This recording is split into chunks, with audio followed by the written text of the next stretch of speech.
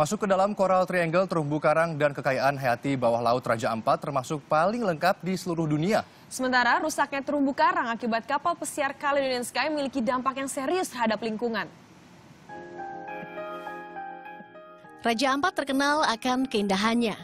Tanpa harus menyelam pun, lanskap dengan kilau lautnya manjakan mata yang memandangnya.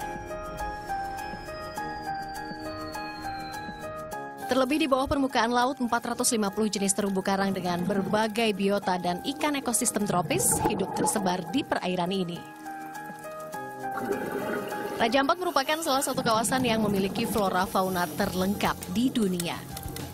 Keanekaragaman yang dimiliki perairan Raja Ampat karena posisinya berada di antara dua benua dan dua samudra. Membuat banyaknya persilangan ekosistem dan spesies di wilayah Asia Pasifik.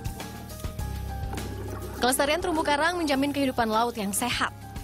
Karena di sinilah tempat hidup berbagai jenis ikan.